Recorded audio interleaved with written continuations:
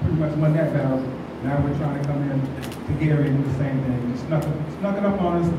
Uh, somebody said they heard Monday night, well, a lot of us heard the Tuesday article in the paper Tuesday, a big article in the paper today. We have some very powerful people in the room that are gonna be sharing information. We got some community members that are gonna be asking a lot of questions. Hour and a half will go very fast, so we're gonna lay some ground rules that we're going to, um, gonna let you speak and ask questions, but if I have to say, you know, hold tight or stop, it's not about being rude, it's about respect everybody else to be able to get some things, uh, said. So, um, a couple things we wanna do is we wanna let, uh, some of the members of Black Lives Matter and also Mike speak. We also got, uh, a reverend who in Hobart has been doing a lot of good work on this issue, and he's kind of pressed for time this morning. That's Reverend Shaquille Meyer. So we're gonna let him, um, talk about the struggles in Hobart before we move on with the rest of the program. So, come on, let's go, uh, let's get started.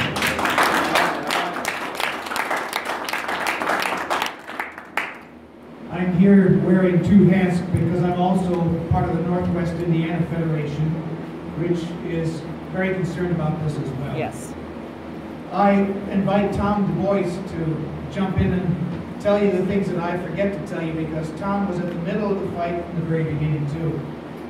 Well, we learned in November of 2013 that Geo had bought this land very quietly.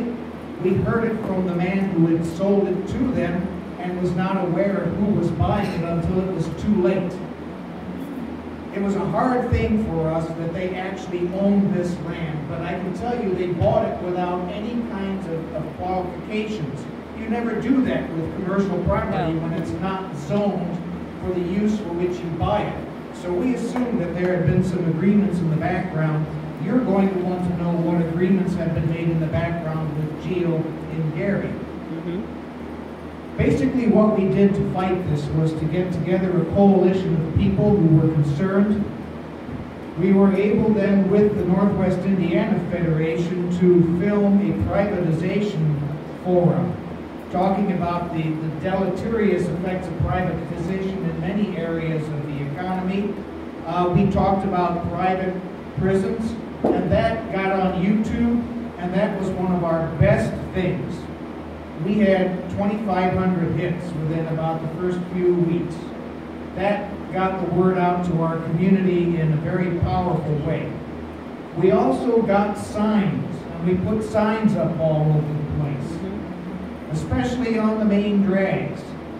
And here's the funny story. Some of the powers that be in the city said, well, would you please take the signs down? And we said, well, why? And they said, well, they're hurting real estate sales. And our answer was, if you think the signs hurt sales, what's the doggone prison doing? Come on now. We also had a couple public forums in the basement of our church. Each one drew 150 people. They weren't always the same 150 from one to the other. The first was just sort of a getting to know you Geo presentation. Fred Tal here is, was very helpful in giving us the lowdown on these organizations. He is a mine of information.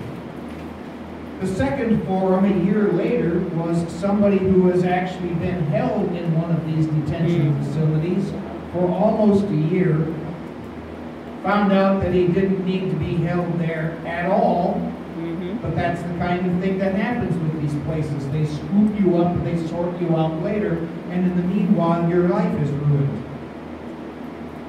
One little point that he made that is that bears mentioning now, Mayor Freeman Wilson visited a couple of these facilities and found out that they feed Bambi there.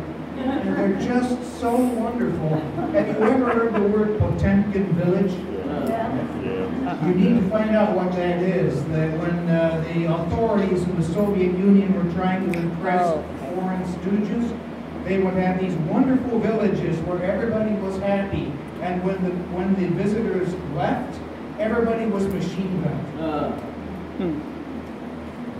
This young man who had been in this geo facility for almost a year said that when visitors come by, you shut up, and they were intimidated into giving a good impression of these places. And that is what you can expect to have happen. Of course, they're going to do their dog and pony show when they're trying to impress you, if you're foolish enough to believe. it. We attended city council meetings on a very regular basis. We got into the Fourth of July parade, and that was so fun because you should have heard the shouts as we came by. Get yourselves out there in public settings. And finally, we were able to move the mayor to write a couple letters to Geo expressing his unhappiness with them. We also made this issue very toxic to city council members, and they realized that this was going to hurt them. Well, unfortunately, Geo still owns the land. We're not done until we get them to dispose of that land. But I think some of the things that we have done with help from Gary residents, we're just repaying the favor here. I'm going to help you. Thank you. Now, the Northwest Indiana Federation, which I am the interim president, is also studying this issue very closely and is going to be making some statements of our own. Good. I can assure you, we're not happy. And the main thing, I think, is that we do not wish to be pigeonholed as a group of fruits, nuts, and berries human rights advocates, even though many of us are and are proud of it. That's right.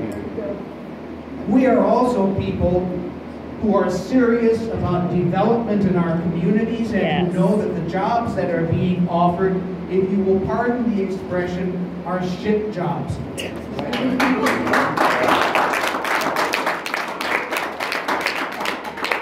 Geo workers get paid less than the national average for prison guards.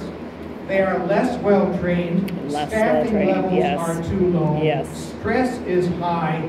Incidents are more frequent in Mhm. Geo's facilities. And as a result, the turnover is massive. So if you're talking about jobs, they're actually bringing a thousand, five thousand jobs into the area because the turnover is going to mean everybody gets eight months at one, uh-huh. or as long as you can stand, which isn't long. No. And this is the message: we don't need those jobs. And finally, what we told the city council in Hobart is, Geo has a well-established reputation for picking on desperate communities. Yes. And when you're talking with developers and they find out you've got one of those toxic things in your town, they know everything they need to know about it.